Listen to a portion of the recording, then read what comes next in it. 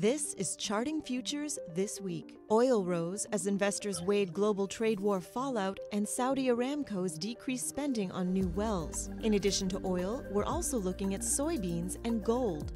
Gold was near a six year high as political protests in Hong Kong and the simmering US China trade conflict fueled worries over global growth and currency volatility.